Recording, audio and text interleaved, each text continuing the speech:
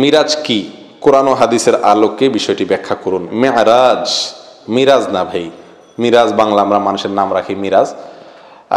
মেয়ারাজ শব্দের অর্থ হলো অরুজের বাহন, অরুজের মাধ্যম। অরুজ আরবিতে শব্দের অর্থ হলো উড্ডয়ন বা ঊর্ধ্বে গমন এটাকে বলা হয় অরুজ। সেখান থেকে মেয়ারাজ হলো অরুজের ক্ষেত্র বা অরুজের মাধ্যম উরুজের উপায়। তো সেক্ষেত্রে মেয়ারাজকে এক কথা বলতে পারি, আমরা ঊর্ধ্বে উঠার মাধ্যম। আর আরও সরলভাবে আমরা যদি বলি নবী আলাইসালামের যে মেয়ারাজ হয়েছিল, সেটাকে মেয়ারাজ বলা হয়। এটা হলো বাইতুল মাকদিস থেকে উপর পর্যন্ত আরশে আজিম, জান্নাত, জাহান্নাম সব পরিদর্শন ইত্যাদি। এই যে আল্লাহ ঊর্ধ্বে নিয়ে গেছেন তাকে, এ তার ঊর্ধ্বে গমনটুকুকে বলা হয় মেয়ারাজ। এটা হলো পরি- পরিভাষা। আমি শব্দিক অর্থটা বললাম? আর ইসলামী পরিভাষায়, কোরআনের পরিভাষায় হাদিসের পরিভা, হাদিসের পরিভাষায় কোরআন নয়।